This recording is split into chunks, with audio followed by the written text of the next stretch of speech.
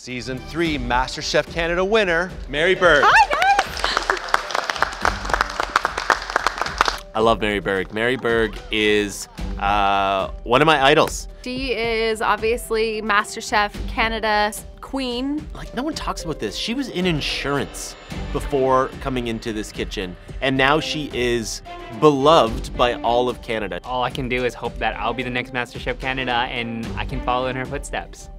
Just goes to show what can happen if you win MasterChef Canada. Ooh, I love that.